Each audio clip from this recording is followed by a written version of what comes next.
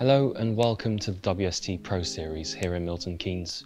We're really reaching the business end now of phase one of this event.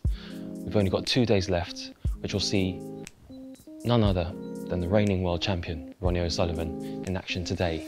And of course, tomorrow, he'll be followed by the world number one, Judd Trump, who's looking for his sixth ranking title already this season.